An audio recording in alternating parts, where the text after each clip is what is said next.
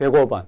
산업안전 보건 관리비 계산 기준에 따른 일반 건설공사 갑 대상액 5억 이상 50억 원 미만 안전관리비 비율 및 기초에 이건 좀 어렵습니다. 예, 여유가 되면 제가 갑에 대해서 갑이 그래도 빈도가 출제될 가능성이 높다 그랬습니다. 그죠? 알아두시는 건 좋은데 시간이 될 때 하십시오. 이건 출제 빈도로 봤을 때는 그렇게 높지 않기 때문에 답은 1번입니다. 참고하시기 바랍니다. 이 문제는. 하실 수 있는 분들은 다른 중요한 내용을 다 하신 분들은 이제 이런 문제에 또 도전을 하셔야 되죠. 그럴 때도 전체를 보는 것보다는 갑부터 먼저 공부해 나가는 게 좋다. 이렇게 순서를 정하시기 바랍니다.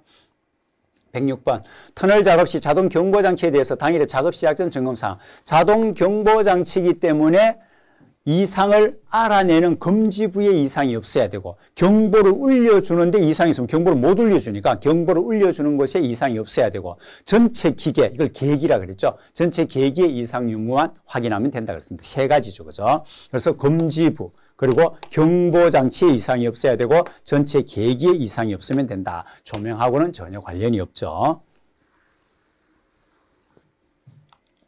107번 다음은 강관 털비계를 조립하여 사용하는 경우 준수해야 될 기준이다. 괄안에 알맞은 숫자를 나열한 것은 길이가 띠장 방향으로 4m니 그죠.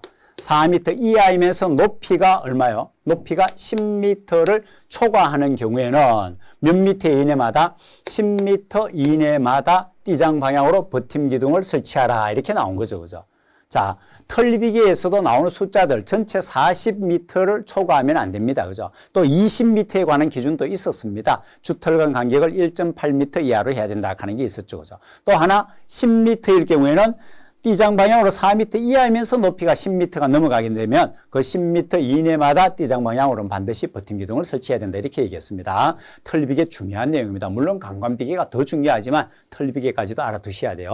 40, 10 이렇게 나온 거는 42번이 답이 되겠네요. 그죠?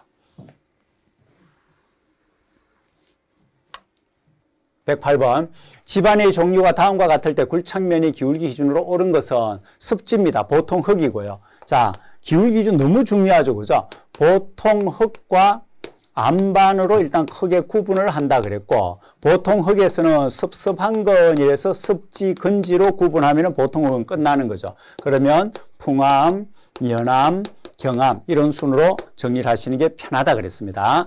1대1로 시작하고 1대1로 끝나고 그래서 1대 1.5, 0.5를 더하고 빼고 그랬죠. 1대 0.5. 그리고 여기는 0.8, 0.5, 0.3 순서대로 가면 된다 그랬습니다. 그죠?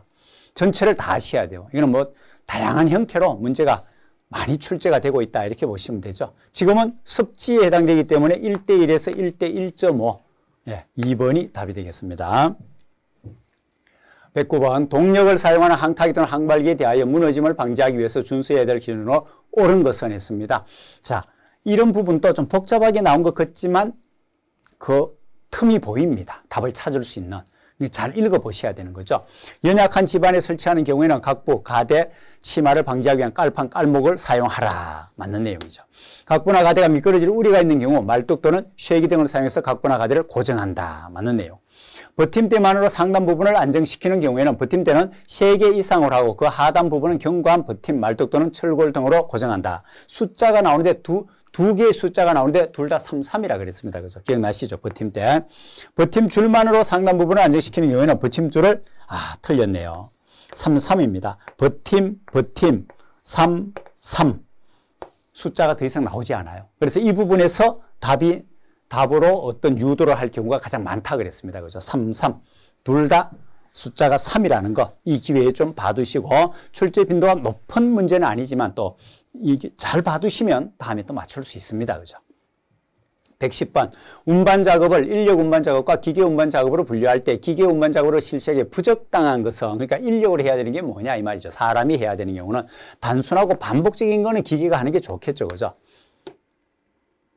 기계 운반작업을 실시에 부적당한 것이니까 기계 운반을 하면 되고 표준화되어 있어 지속적이고 표준화 딱 되어 있고 지속적이고 계속 오래 하는 거. 사람이 하면 힘들죠 그죠? 운반량이 많은 것도 기계가 하는 게 맞겠죠. 취급물의 형상 성질 크기 등이 아주 다양하다. 기계가 이걸 다 알아내겠습니까 그죠?